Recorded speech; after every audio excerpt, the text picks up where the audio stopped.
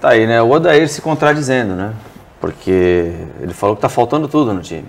Conexões, passes, posse de bola, a falta de finalização.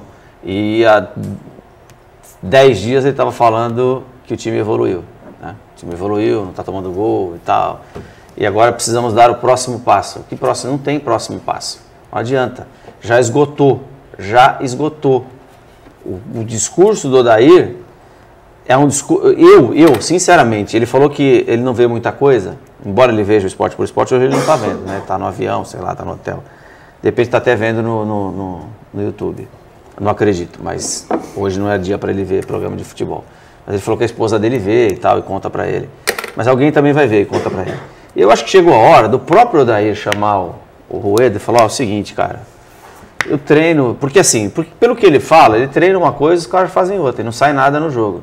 Então tá na hora de chegar pro, pro, pro Rueda e falar, ô Odair, ô Rueda, esta é minha cartinha, vou assinar aqui agora. Mas por que você vai assinar? Calma aí, ô Helma, você vai assinar por quê? Porque não dá mais, cara. Estou aqui há cinco meses. Não sai, não adianta, não vai.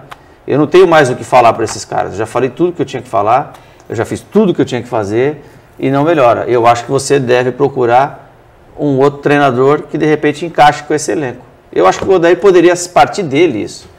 O Odair está se queimando como treinador também. Se ele acha que a culpa não é dele, e que falta só dar esse próximo passo, ele poderia ele pedir demissão.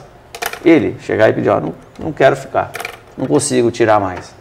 Porque eu não vejo ele tirando mais, eu não vejo. Se alguém vê ele tirando mais desse elenco aí, o cara já está desanimado lá, está tá mais triste que, que, que o família que, que Deu tá com ver no semblante, né? Tá bem. É. Abatido, né?